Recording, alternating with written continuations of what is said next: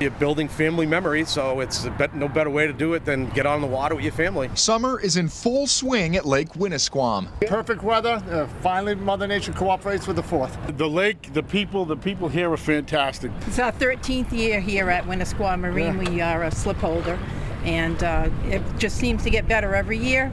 The folks at Winnisquam Marine tell us their boat rentals grew in popularity during the pandemic, but with Mother Nature cooperating this weekend, locals tell us it's one of the busiest they've seen at Winnisquam. This is the best year we've had out of the last three, um, especially since now we're all done with COVID. People are just itching to get out onto the water and, and have a good time. COVID got more people out. You know, we saw like a real big uptick in business you know, in 2020, 2021, but it's still very steady right now. Mark Sudo with Winnisquam Marine says despite record high inflation and near record high gas prices, all 52 of their pontoon boats are rented this weekend. People are still going to spend the money to enjoy themselves. I just had a customer that said, you know, it's he's on vacation, he's going to spend the money, and whether it's six dollars, three dollars, ten dollars, you know, they're going to use their boat. So yeah, we wish it was a little lower, but it is what it is. The Sandbar, a popular place to gather during the day, and locals say an even better place to watch fireworks at night. You can see a 360 all around you. There's plenty of fireworks to be had.